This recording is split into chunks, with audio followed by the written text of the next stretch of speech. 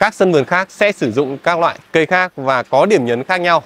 Đấy, nên là sẽ không lặp đi lặp lại cái phong cách đâu quý vị anh chị ạ.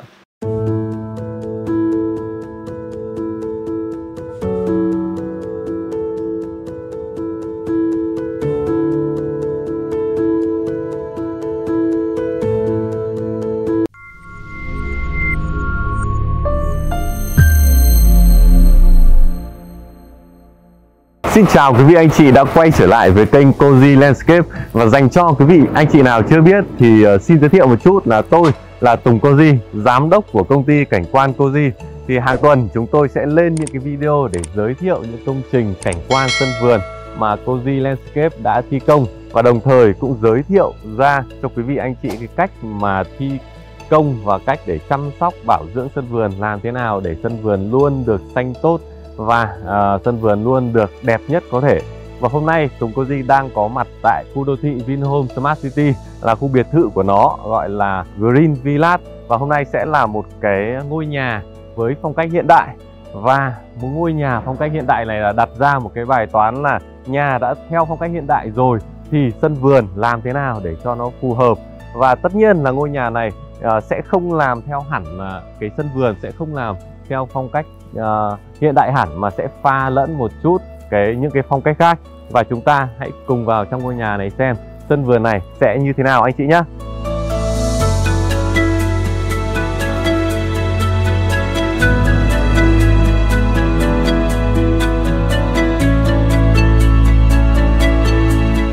Đầu tiên giới thiệu tổng quan ngôi nhà này cho quý vị anh chị biết là tổng diện tích của khu đất này là 320 m vuông và khu đô thị này đã dành ra là 40% cho diện tích sân vườn còn 60% là diện tích xây dựng. Anh chị có thể nhìn thấy đây ạ. Và à, sân vườn thì của chúng ta là sẽ bao quanh cái ngôi nhà này. Đằng trước này sẽ là không gian dành cho sân vườn của chúng ta.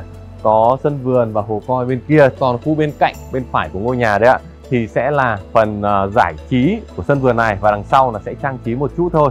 Thì ờ, bây giờ chúng ta sẽ đi vào chi tiết từng vị trí một nhé.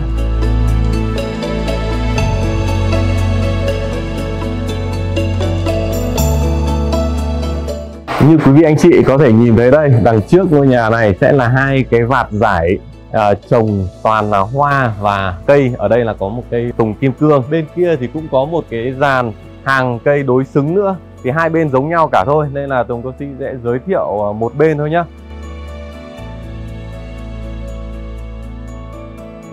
Dưới là cây ờ, thảm, xong rồi đến ờ, các cây bụi này, trong cây bụi tầm cao này, rồi đến cây cẩm tú cầu của chúng ta là ở đây. Trồng một dải ra như này, và đằng trước hai bên sẽ là hai cây tùng kim cương đây. Bình thường thì nhà có thể dùng cây tùng la hán hay là các cái cây dáng đứng ở trên này nhưng mà ở đây sẽ là dùng cây tùng kim cương.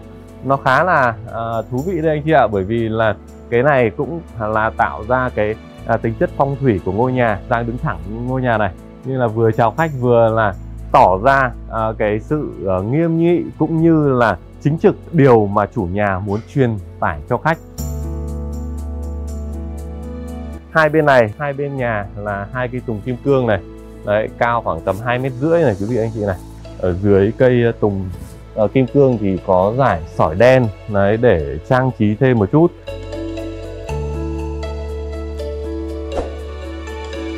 À, phần thứ hai chúng tôi Di muốn giới thiệu cho quý vị anh chị đó là khu vực tiểu cảnh phần đồi cây và vườn ở đằng trước uh, ngôi nhà này đó là giải tiểu cảnh. Chúng ta có thể thấy đằng trước mặt này đây trang trí bằng những cây thảm này cây bụi này đá này và cây tầm cao hơn có tán tròn và trên là những cái cây mà điểm nhấn một chút có thể nhìn thấy đó là khu tiểu cảnh có điểm nhấn nhá có cây tán tròn nhá và cái khu vực tiểu cảnh à, ang nước ở đây. À, cái ang nước này giới thiệu cho quý vị anh chị là nó là phong cách của Nhật Bản. Chủ nhà muốn làm theo kiểu đơn giản thôi nên là cái ang nước này chỉ để trang trí và đựng chút nước trong này. Nếu và tất nhiên là một số anh chị có hỏi Tùng là à, nếu mà cái ang nước này có mũi thì sao? À, không vấn đề gì anh chị nhá. À, nếu mà bình thường à, chúng ta không biết ấy thì nó có mũi thật. Thế nhưng mà à, mình chỉ cần thêm một chút à, hoặc là muối này hoặc là cái dầu gió của mình ấy chỉ thêm một vài giọt đây thì không bao giờ có mũi.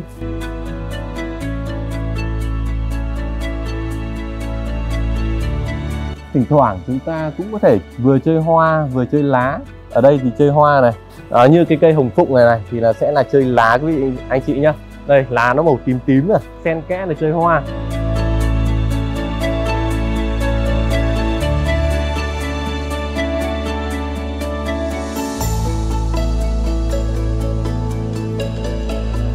Ở đầu hối ngôi nhà này chúng ta có một cái hệ thống ờ, tưới bằng tay. Tất nhiên là tưới tự động rồi, nhưng mà cũng có hệ thống tưới bằng tay. Ờ, quý vị anh chị ạ, cái này rất là tiện, kể cả là không, mình có thời gian nhé hàng ngày tưới bằng ờ, tay cũng rất là hợp lý bởi vì là mình kiểm soát được lượng nước này. Tất nhiên là lượng nước kiểm soát một phần rồi, bởi vì là mỗi cái loại cây sẽ yêu cầu một lượng nước khác nhau. Cũng như là mình có thể kiểm soát được là thực sự là cái cây đấy nó cần nhiều nước như thế không và cái chỗ đấy nhiều khi cái hệ thống tưới nó không phủ hết lên được, không phủ trăm phần trăm được. 8 90 phần trăm thôi thì dùng hệ thống tưới này. Và tưới rất là tiện, có nhiều cái chế độ tưới khác nhau, kéo được 15 20 mét anh chị ạ.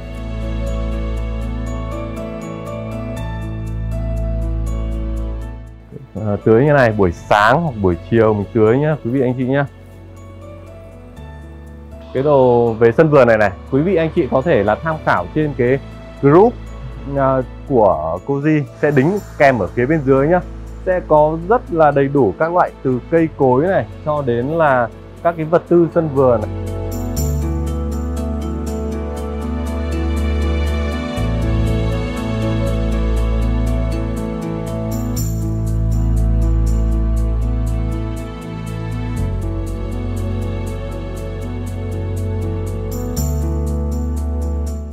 Đây là điểm nhấn đặc biệt nhất của ngôi nhà này. Đó là chiếc hồ cá coi ở khu vực phía trước nhà đây quý vị anh chị ạ. Cái hồ cá coi này thì nó rơi vào là 15 mét khối cộng với 5 mét khối ờ, bể lọc. Chiếc hồ cá coi này thì làm bằng đá à, vân mây sỏi vân mây quý vị anh chị ạ. Sỏi vân mây này thì ờ, hiện tại đang khá được ưa chuộng với các cái kiến trúc hiện đại khác với loại sỏi của miền Bắc. Đó là sỏi vàng cũng như là đá của Nghệ An đó là đá cổ thạch mình rất là thích cái thác này. Cái thác này thì nó không hoàn toàn là tự nhiên đâu quý vị ạ. Nó sẽ là các cái phiến đá, nó cắt và nó họ ghép vào nhau. Cái nghệ nhân của Goji sẽ ghép những cái phiến đá này vào với nhau bằng thép. Quý anh chị thích mô hình này nhá. Còn thích mô hình tự nhiên thì các cái viên đá này sẽ không cắt ghép và mình chỉ xếp sắp đặt thế nào cho nó tự nhiên nhất, quý vị anh chị ạ.